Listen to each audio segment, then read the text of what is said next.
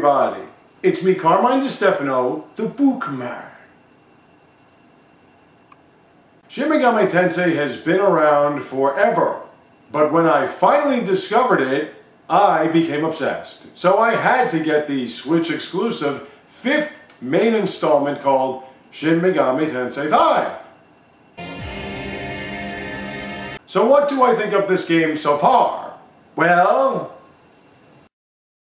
it's a stunning game. I love everything about this post-apocalyptic Japan yet again. Somehow they find a way to improve on a formula that despite the fact of its arcane nature, of being so archaic and old, it still works.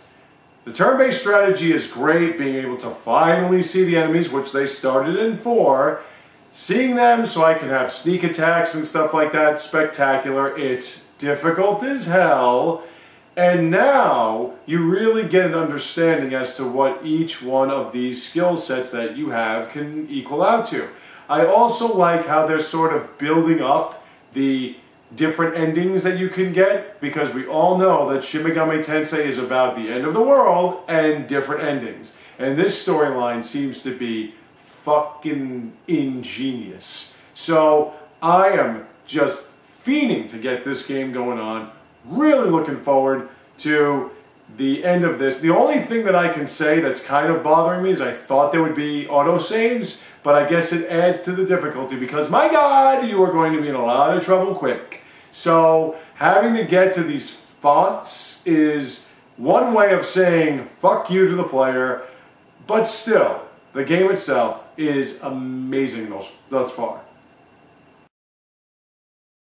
Overall, I adore Shin Megami Tensei, just like I adore the gorgeous women in Shin Megami Tensei. So of course I'm a fan of it, and of course I'm enjoying playing it. If you are a fan of JRPGs or Megami Tensei fan, you need to have this game. If you have a Switch and you're looking for a new turn-based strategic type experience, definitely take a look at it. If you're more into first-person shooters or just running headfirst into things, you know, I think you would still enjoy this because the art style is something to be respected and the controls are really smooth and everything. So I believe you would enjoy it. If you're just not into any kind of video game like this, yeah, you're probably not going to really think about it much. Thank you all for watching and for more views soon to come. So stay tuned, take care, and have a great day.